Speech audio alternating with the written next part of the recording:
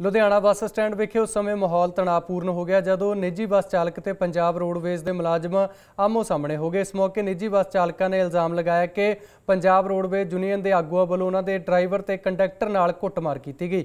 ਜਦਕਿ ਦੂਜੇ ਪਾਸੇ ਪੰਜਾਬ ਰੋਡਵੇਜ਼ ਯੂਨੀਅਨ ਦੇ ਆਗੂਆਂ ਨੇ ਕਿਹਾ ਕਿ ਨਿੱਜੀ ਬੱਸ ਆਪਰੇਟਰ ਬਿਨਾਂ ਟਾਈਮ ਟੇਬਲ ਤੋਂ ਬੱਸਾਂ ਚਲਾ ਰਹੇ ਨੇ ਅਤੇ ਬੱਸ ਸਟੈਂਡ ਵਿਖੇ ਗੁੰਡਾਗਰਦੀ ਕਰਕੇ ਧੱਕਾਸ਼ਾਹੀ ਕਰ ਰਹੇ ਨੇ।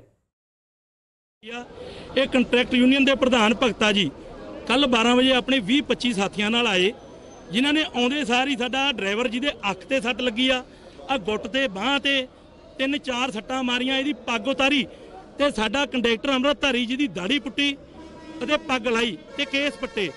ਠੀਕ ਹੈ ਜੀ, ਇਸ ਤੋਂ ਬਾਅਦ ਇਹ ਬੰਦੇ ਮੈਡੀਕਲ ਕਰਾਉਣ ਲਈ ਭੇਜ ਦਿੱਤੇ ਗਏ। ਇਹਨੇ ਆਪਣੇ ਸਾਥੀਆਂ ਨਾਲ ਆ ਕੇ ਕਾਊਂਟਰ ਦੇ ਉੱਤੇ ਜ਼ਬਰਦਸਤੀ ਸਾਡੀਆਂ ਬੱਸਾਂ ਰੋਕਣੀਆਂ ਸ਼ੁਰੂ ਕਰ ਦਿੱਤੀਆਂ। ਇਹਨਾਂ ਦਾ ਕਹਿਣਾ ਸੀ ਕਿ ਰਾਜਧਾਨੀ ਬੱਸ ਦਾ ਕਹਿੰਦੇ ਜੀ ਕੋਈ ਟਾਈਮ ਨਹੀਂ ਹੈ। ਅਸੀਂ ਇਹਨਾਂ ਨੂੰ ਦੱਸਿਆ ਵੀ ਵੀਰ ਜੀ, ਇਹ ਜਿਹੜੀਆਂ ਟਰਾਂਸਪੋਰਟਾਂ ਨੇ ਇੱਕ ਦੂਸਰੇ 'ਚ ਮਰਜ ਹੋ ਜਾਂਦੀਆਂ ਨੇ। ਜਿਹਦੀ ਐਸਟੀਸੀ ਸਾਹਿਬ ਕੋਲ ਮੀਟਿੰਗ ਲੱਗਦੀ ਆ। ਮੀਟਿੰਗ ਤੋਂ ਬਾਅਦ ਵਿੱਚ ਉੱਤੇ ਆਬਜੈਕਸ਼ਨ ਮੰਗੇ ਜਾਂਦੇ ਆ ਵੀ ਕਿਸੇ ਨੂੰ ਕੋਈ ਇਤਰਾਜ਼ ਤਾਂ ਨਹੀਂ ਵੀ ਆਹ ਪਰਮਿਟ ਦੂਸਰੀ ਕੰਪਨੀ ਦੇ ਵਿੱਚ ਮਰਜ ਹੋ ਰਿਹਾ ਜਾਂ ਕਨਵਰਟ ਹੋ ਰਿਹਾ। ਠੀਕ ਹੈ ਨਾ? ਜੋ ਇਹ ਰੋਡਵੇਜ ਦੇ ਕਲੈਰੀਕਲ ਸਟਾਫ ਦਾ ਕੰਮ ਆ। ਤੇ ਬਲਕਿ ਇਹ ਜਿਹੜੇ ਨੇ, ਇਹ ਇੱਕ ਕੰਡਕਟਰ ਜਾਂ ਡਰਾਈਵਰ ਲੈਵਲ ਦੇ ਬੰਦੇ ਨੇ। ਇੱਕ ਕੰਡਕਟਰ ਹੋਣ ਦੇ ਬਾਵਜੂਦ ਦੂਸਰੇ ਆਪਰੇਟਰਾਂ ਕੋਲੋਂ ਡਾਕੂਮੈਂਟ ਮੰਗ ਰਹੇ ਨੇ। ਇਹਨਾਂ ਕੋਲ ਕੀ ਅਧਿਕਾਰ ਆ ਕਾਗਜ਼ ਪੱਤਰ ਦੇਖਣ ਦਾ? ਠੀਕ ਆ, ਆਪਣੀ ਡਿਊਟੀ ਤਾਂ ਪਰ ਨਿਭਾ ਨਹੀਂ ਰਹੇ। ਦੂਸਰਾ ਇਹ ਕਹਿੰਦੇ ਜੀ, ਇਹ ਸਾਡੇ ਬੰਦਿਆਂ ਨੂੰ ਕਹਿੰਦੇ ਪੈਸੇ ਲੈਂਦੇ ਨੇ। ਕੋਈ ਇੱਕ ਵੀ ਬੰਦਾ ਕਹੇ ਵੀ ਅਸੀਂ ਕਿਸੇ ਨੂੰ ਪੈਸੇ ਦਿੰਨੇ ਆ ਜਾਂ ਕੋਈ ਸਾਡੇ ਕੋਲੋਂ ਪੈਸੇ ਮੰਗਦਾ ਵਾ, ਅਸੀਂ ਬਿਲਕੁਲ ਕਿਸੇ ਨੂੰ ਕੋਈ ਪੈਸਾ ਨਹੀਂ ਦੇ ਰਹੇ। ਸਾਡੀ ਮੰਗ ਇਹੀ ਹੈ ਜੀ, ਸਾਡੇ ਨਾਲ ਇਹ ਧੱਕੇਸ਼ਾਹੀ ਕਰਦੇ ਨੇ ਜਿਹੜੀ ਜੋ ਇਹਨਾਂ ਨੇ ਜੁਰਮ ਕੀਤਾ ਹੈਗਾ ਵਾ, ਉਹ ਇਹਨਾਂ ਤੇ ਪਰਚਾ ਮੁਕੱਦਮਾ ਦਰਜ ਕੀਤਾ ਜਾਵੇ। ਸਾਡੇ ਸਾਰੇ ਪ੍ਰਾਈਵੇਟ ਆਪਰੇਟਰਾਂ ਦੇ ਜਿਹੜੇ ਟਾਈਮ ਮਿਸ ਹੋਏ ਨੇ, ਉਹਦਾ ਹਰਜਾਨਾ ਇਹ ਦੇਣ ਜੀ। ਠੀਕ ਆ, ਤੇ ਅੱਗੇ ਵਾਸਤੇ ਜਿਹੜਾ ਬਿਨਾਂ ਵਜ੍ਹਾ ਬੱਸ ਅੱਡਾ ਬੰਦ ਨਾ ਕੀਤਾ ਜਾਵੇ ਤੇ ਇਹਨਾਂ ਦੀ ਧੱਕੇਸ਼ਾਹੀ ਬੰਦ ਕੀਤੀ ਜਾਵੇ। ਹੁਣ ਆਪਣੇ ਸਾਥੀਆਂ ਨੂੰ ਨਾਲ ਲੈ ਕੇ ਸਾਡੀਆਂ ਗੱਡੀਆਂ ਰੋਕਣ ਲਈ ਆਏ ਆ। ਉਲਟਾ ਸਾਨੂੰ ਕਹਿ ਰਿਹਾ ਜੀ ਗੁੰਡੇ ਲੈ ਕੇ ਆਏ। ਅੱਜ ਪੰਜਾਬ ਰੋਡਵੇਜ ਪਨ ਬੱਸ ਯੂਨੀਅਨ ਵੱਲੋਂ ਪੰਜਾਬ ਰੋਡਵੇ ਦਾ ਬੱਸ ਸਟੈਂਡ ਦੇ ਵਿੱਚ ਹੁੰਦੀ ਲੁੱਟ ਬਚਾਓ ਤੇ ਪੰਜਾਬ ਰੋਡਵੇ ਨੂੰ ਬਚਾਓ ਦੀ ਤਹਿਤ ਮਹਿਮਾ ਜੋ ਚਲਾਈ ਜਾਣੀ ਆ ਸੋ ਅਸੀਂ ਕੱਲ ਦੇ ਤਕਰੀਬਨ 2-3 ਦਿਨਾਂ ਦੇ ਮੈਨੇਜਮੈਂਟ ਨੂੰ ਬਾਰ-ਬਾਰ ਲਿਖਤੀ ਤੌਰ ਤੇ ਦੇ ਚੁੱਕੇ ਆ ਵੀ ਜਿਹੜੇ ਪ੍ਰਾਈਵੇਟ ਟਰਾਂਸਪੋਰਟਰ ਨੇ। ਉਹ ਨਜਾਇਜ਼ ਤੌਰ ਤੇ ਲੁਧਿਆਣਾ ਬੱਸ ਸਟੈਂਡ ਦੇ ਵਿੱਚੋਂ ਬੱਸਾਂ ਭਰ ਕੇ ਲੈ ਕੇ ਜਾਂਦੇ ਨੇ, ਬਿਨਾਂ ਟਾਈਮ ਟੇਬਲਾਂ ਤੋਂ, ਬਿਨਾਂ ਪਰਮਿਟਾਂ ਤੋਂ। ਉਹਨਾਂ ਦੀ ਇੱਕ ਇੱਕ ਬੱਸ ਦੇ ਨਾਲ ਚਾਰ ਚਾਰ ਗੁੰਡੇ ਜੋ ਹਾਕਰ ਰੱਖੇ ਹੋਏ ਨੇ।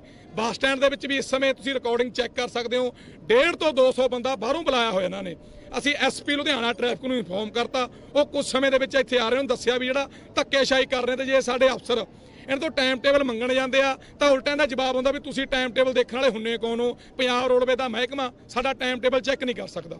ਉਹਦੇ ਤਹਿਤ ਅੱਜ ਪੰਜਾਬ ਰੋਡਵੇਜ ਪਨ ਬੱਸ ਕਮੇਟੀ ਨੇ Ludhiana bus stand bus stand ਦੇ ਵਿੱਚ ਜੋ ਜੋ ਟਾਈਮ ਟੇਬਲ ਚੈੱਕ ਕਰਕੇ ਜਿਹੜੀਆਂ ਸਹੀ ਟਾਈਮਾਂ ਤੇ ਗੱਡੀਆਂ ਨੇ, ਉਹਨਾਂ ਨੂੰ ਚਲਾਇਆ ਜਾਊਗਾ। ਜੇਕਰ ਸਾਡੇ ਨਾਲ ਕੋਈ ਧੱਕਾ ਕਰਦਾ, ਜਾਂ ਸਾਡੇ ਕੰਮ 'ਚ ਕੋਈ ਰੋੜਾ ਬਣਦੀ ਆ, ਚਾਹੇ ਮੈਨੇਜਮੈਂਟ ਹੋਵੇ, ਚਾਹੇ ਪ੍ਰਾਈਵੇਟ ਟਰਾਂਸਪੋਰਟਰ ਹੋਣ, ਤਾਂ ਉਸੇ ਸਮੇਂ ਲੁਧਿਆਣੇ ਦਾ ਬੱਸ ਸਟੈਂਡ ਬੰਦ ਕਰਕੇ, ਪੰਜਾਬ ਦੇ 18 ਡਿਪੂ ਬੰਦ ਕਰਕੇ ਵੱਡੇ ਤੌਰ ਤੇ ਸੰਘਰਸ਼ ਲਿਖਿਆ ਜਾਊਗਾ। ਇਹਦੇ ਵਿੱਚ, ਯਾਨੀ ਕਿ ਜੇ ਆਪਾਂ ਕਹਿ ਸਕਦੇ ਵੀ ਜਿਹੜੀ ਕੁੱਤੀ ਆ, ਉਹ ਚੋਰਾਂ ਨਾਲ ਰਲੀ ਹੋਈ ਆ। ਸਾਡੀ ਮੈਨੇਜਮੈਂਟ ਵੀ ਹਜੇ ਤੱਕ ਟਾਈਮ ਟੇਬਲ ਸਾਡੇ ਕੋਲ ਲੈ ਕੇ ਨਹੀਂ ਆਈ, ਇੱਥੇ ਸਵੇਰ ਦੇ ਅਸੀਂ ਫਿਰਦੇ ਆ ਪਰ ਸਾਡਾ ਕੋਈ ਪ੍ਰਸ਼ਾਸਨਿਕ ਅਧਿਕਾਰੀ ਸਾਡੇ ਕੋਲ ਟਾਈਮ ਟੇਬਲ ਨਹੀਂ ਲੈ ਕੇ ਆਏ ਤੇ ਇਹਦਾ ਇਹ ਸਿੱਧ ਹੁੰਦਾ ਇੱਥੋਂ ਵੀ ਜਿਹੜੀ ਸਾਡੀ ਕੁੱਤੀ ਆ, ਉਹ ਚੋਰਾਂ ਨਾਲ ਰਲੀ ਹੋਈ ਆ।